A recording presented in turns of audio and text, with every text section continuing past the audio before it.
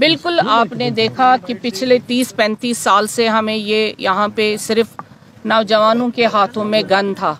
उससे हमारी एक जनरेशन खत्म हो गई। और जब गन, अब धीरे धीरे गन कल्चर खत्म हो गया तो हमारे सामने अब ड्रग आ गया।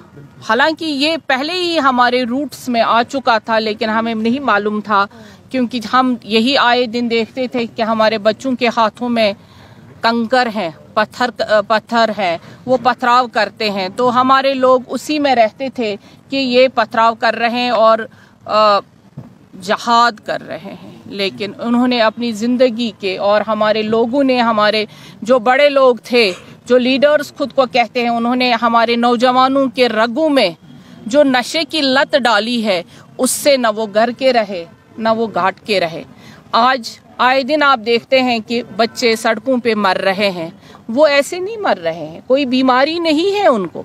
उनको या ड्रग नहीं मिल रहा है, या वो नशे की लत में ऐसे तबाह हो चुके हैं कि अब उनको बस मौत की आगोश में ही जाना हो रहा है। ये कहाँ का इंसाफ है? हमें इसके लिए लड़ना है। हर एक को लड़ना है। सिर्फ़ ये पुलिस का काम नहीं है। सिर्फ़ ये बॉर्डर सिक्योरिटी का फोर्स का काम नहीं। ये हम सबों का काम है कि हम इस नशे की लत को अपने इस सरजमीन से खत्म करें।